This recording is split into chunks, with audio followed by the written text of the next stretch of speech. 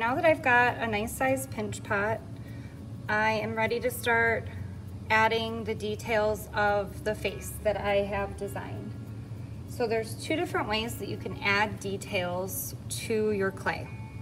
One is by gently pressing from the inside outward. I'm just gonna feel for like the thickest area first before I decide where that face is gonna go. I'm just gonna feel that side might work best because it's a little tiny bit thicker here than it is other places. I think over here is where the face is gonna go. It's just a little bit on the thicker side. Just supporting and shaping it from the outside here. So right now I'm kind of thinking about the beginning of a nose. So I'm gently kind of pushing that clay out while I'm pinching it into the shape that I might want. So my fingers on the inside supporting and then my fingers are on the outside kind of sculpting and moving that clay in the direction that I want it to go. So you can see kind of the beginning of a nose there. That can turn into a nose. Maybe I want the base of the nose to be a bit wider. So I can just start pressing that out supporting it here, making sure I'm not pushing too much at once. This is a gradual process. If we try to force clay too quickly, it doesn't like that. And it starts to crack.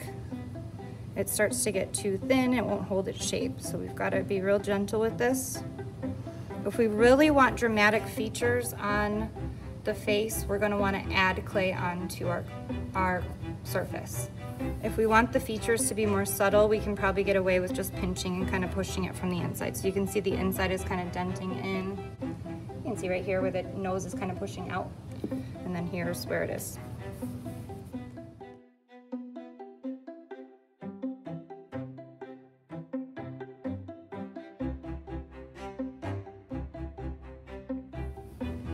So on this first day, this would be probably as far as we might get. Um, this is the beginning of some of those facial features starting to happen. And um, now I can start thinking about areas that I can continue to sculpt or add